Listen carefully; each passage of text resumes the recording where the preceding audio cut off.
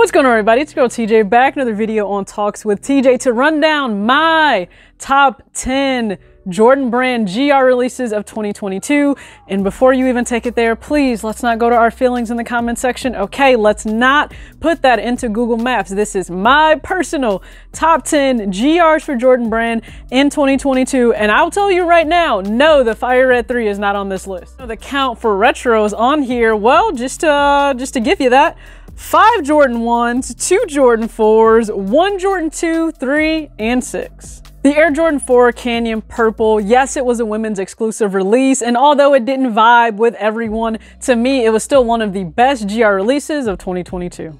The Air Jordan 4 Midnight Navy. Now, I did not go for this pair. I did appreciate, though, that it was very reminiscent of the Air Jordan 4 White Cement. And with that being the case, yeah, I still think it's one of the best GRs of this year. Now I tried for this one myself, not for me though, for my goddad, but he was actually able to secure his very first retro. Not this one, but still within that same family. I'm talking about the Air Jordan 1 85 Georgetown. I really appreciated this pair, and if I'm able to add it to the collection at some point, if it's a reasonable price, I'm willing to do that.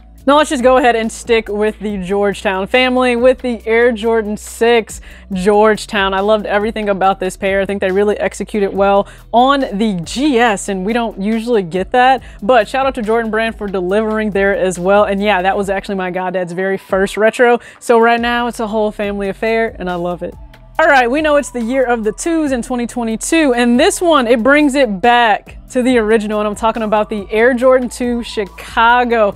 Absolutely love this, but with everything going on in the month of December, I don't think I'm personally going for those. I will try to help a friend secure their pair, but I still think it's one of the best GRs of this year. Now, some of you may be extremely upset at this because no, I'm not putting the Fire Red 3 on here, but I do have the Muslin 3 on here because I think it really went under the radar with so many other drops. But if you ask me, one of the best executed Jordan brand uh, models and I guess colorways to go ahead and drop in 2022. So if you were able to secure that, bravo. Okay, this is one of the few pairs where I was actually in my feelings like a little bit and mainly because on SNKRS app, my size wasn't available. And I'm talking about the Air Jordan 1 Low EX in smoke gray.